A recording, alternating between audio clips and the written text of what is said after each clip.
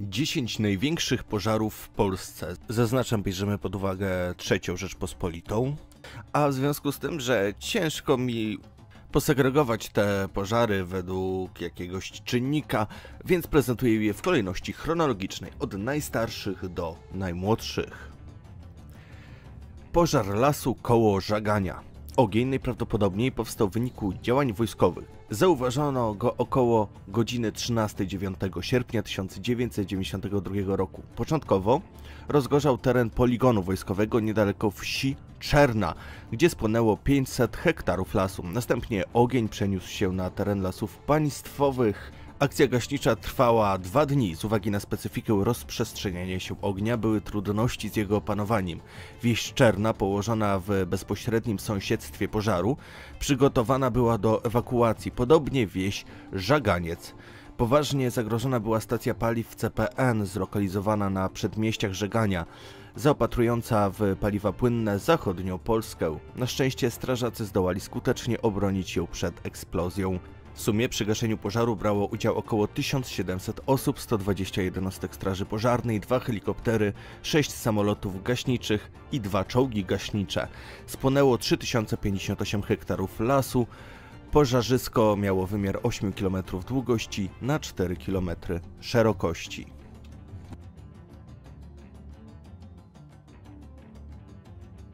Pożar Puszczy Noteckiej, drugi co do wielkości pożar lasu w Polsce po II wojnie światowej, który miał miejsce w Puszczy Noteckiej 10-11 sierpnia 1992 roku. Las zapalił się około godziny 16 10 sierpnia 1992 roku od iskier sypiących się z zablokowanych hamulców pociągu relacji Poznań-Krzyż.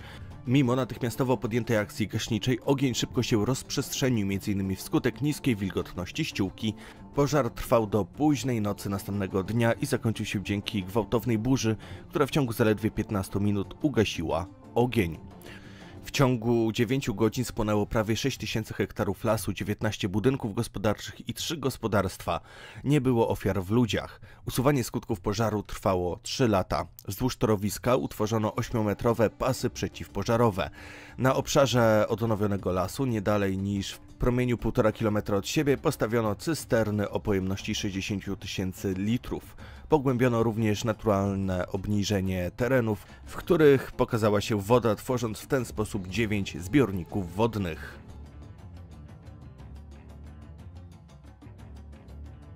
Pożar lasu w nadleśnictwie Rudy Raciborskie. Największy pożar, jaki miał miejsce w Polsce oraz Europie Środkowej po II wojnie światowej. Trwał od 26 do 30 sierpnia 1992 roku i strawił ponad 9 tysięcy hektarów. Pożar rozpoczął się 26 sierpnia 1992 roku około godziny 13.50 i chwilę później został zauważony w oddziale 109 Leśnictwa Kiczowa Warunki meteorologiczne były wyjątkowo sprzyjające pożarowi. Temperatury ponad 32 stopni Celsjusza. 30 sierpnia w Kaliszu i Łodzi zanotowano nawet 38 stopni Celsjusza.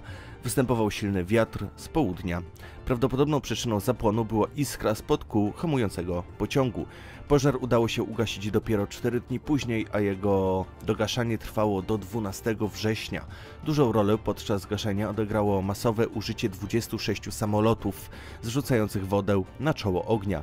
Ponadto w akcji gaszenia pożaru brało udział około 1100 samochodów pożarniczych, śmigłowce, 50 cystern kolejowych i 6 lokomotyw, a także sprzęt ciężki, taki jak czołgi inżynieryjne, pługi i spychacze. W sumie w akcji gaśniczej brało udział około 10 tysięcy osób. Zniszczenia na terenie nadleśnictw miały cechy klęski ekologicznej. W pożarze zginęły dwie osoby, strażacy. Ofiarą została także osoba postronna, młoda kobieta, 23-letnia Gabriela. Została przygnieciona śmiertelnie przez wóz strażacki jadący do akcji gaśniczej, który wpadł w poślizg i wypadł z drogi. Strażacy ucierpieli wypadku. 50 osób odwieziono do szpitala, a lekko poszkodowanych było około 2000. Spłonęło 15 wozów gaśniczych i 26 motopomp. Rozgrzany popiół pogorzeliska zniszczył 70 km węży strażackich. Spłynęło łącznie 9 tysięcy hektarów, 6 tysięcy hektarów w ówczesnym województwie katowickim. Nie doszło do zniszczeń zabudowań i zakładów produkcyjnych.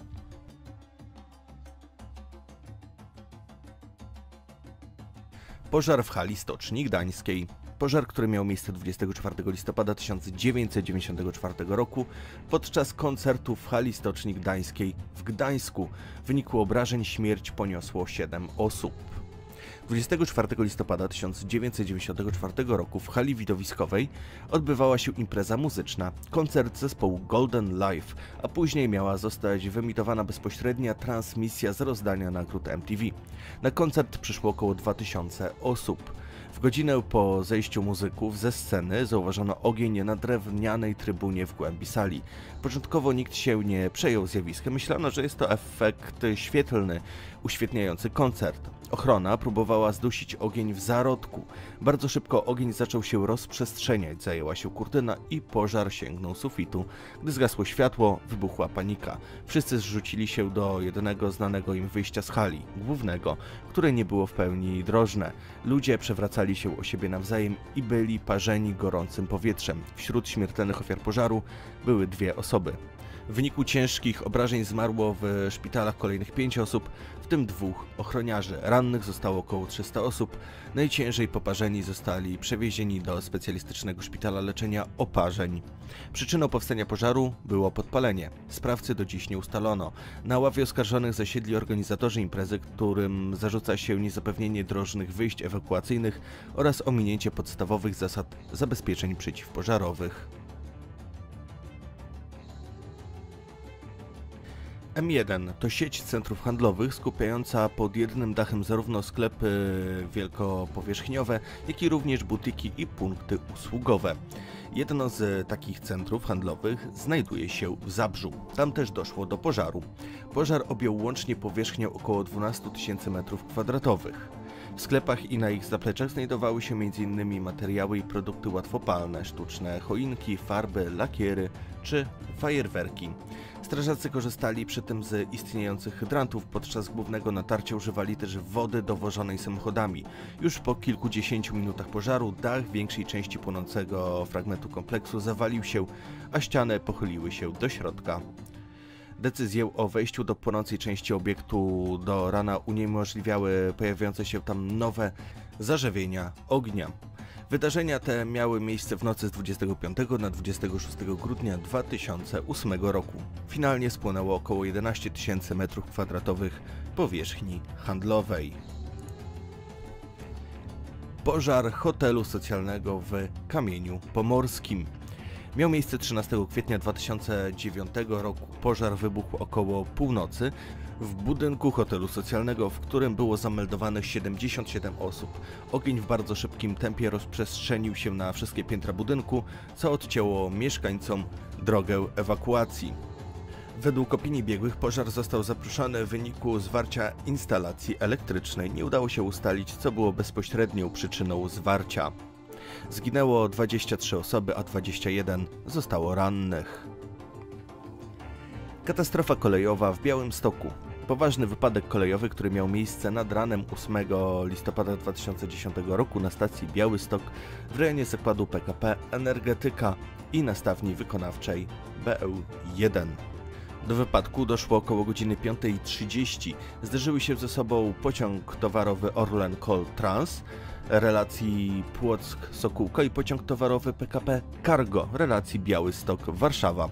Pociąg towarowy Orlen złożony był z lokomotyw spalinowych.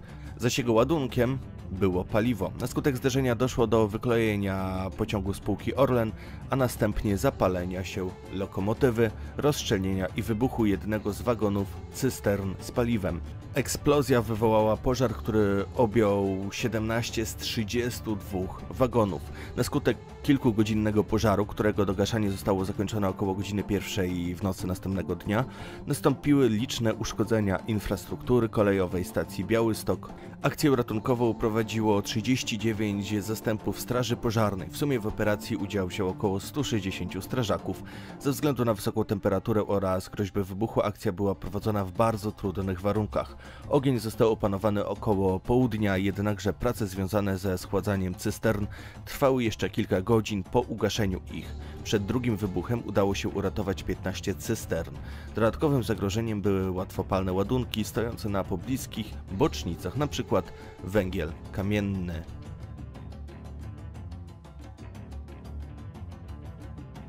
Kościół Świętej Doroty w Łodzi. Kościół w parafii rzymskokatolickiej w Łodzi na osiedlu Mieliszki. Usytuowany był przy ulicy Pomorskiej 445. 31 sierpnia 2015 roku około godziny 4 rano w kościele wybuchł pożar. Mimo szybko podjętej akcji ratunkowej nie udało się go ugasić i spaleniu uległa wieża, cała konstrukcja dachu, część drewnianych ścian i doszczętnie wypaliło się wnętrze. Przyczyną pożaru było prawdopodobnie zwarcie instalacji elektrycznej. Rada Miasta Łodzi zdecydowała o wsparciu finansowym odbudowy kościoła w oryginalnej formie. Również metropolita łódzki ogłosił zamiar odbudowy kościoła i zbiórkę na ten cel. Niestety do dziś do tego nie doszło. Wybuch gazu w murowanej Goślinie. Wybuch gazu i pożar w wyniku rozszczelnionego gazociągu gazu ziemnego wysokiego ciśnienia w Muranowie Goślinie, który miał miejsce 26 stycznia 2018 roku około północy. 10 osób zostało ewakuowanych, nikt nie zginął ani nie został ranny. Spłonął jeden budynek gospodarczy, trzy budynki mieszkalne zostały znacznie zniszczone w wyniku pożaru, a 15 kolejnych w różnym stopniu zniszczone przez promieniowanie cieplne i eksplozję. Ryzyko było porównywalne z akcją w Jankowie przy Gockim. Oddziaływanie na budynek było jednak znacznie mniejsze. W akcję ratowniczą na miejscu eksplozji zaangażowanych było 48 zastępów straży pożarnej, dwa zespoły ratownicze i policja. Był to gazociąg z lat 70. XX wieku. Według wstępnych ustaleń wybuch nastąpił samoczynnie jednak w miejscu, w którym kilka tygodni wcześniej były prowadzone prace związane z budową chodnika. W wyniku awarii oraz pożaru gazociągu w Wielkopolsce dostaw gazu zostało pozbawionych około 3,5 tysiąca osób z miejscowości zasilanych ze stacji PSG. Pożar w Escape Roomie w Koszalinie, czyli pożar, który miał miejsce 4 stycznia 2019 roku. W jego wyniku śmierć poniosło 5 osób, a jedna została ranna. Pożar wybuchł około godziny 17.15 w dwupiętrowym budynku. Pożar objął jeden z pokojów, który sąsiadował z pokojem, gdzie przebywało pięć nastoletnich dziewczyn. Po tej tragedii premier Mateusz Morawiecki zapowiedział zmianę przepisów dotyczących escape roomów.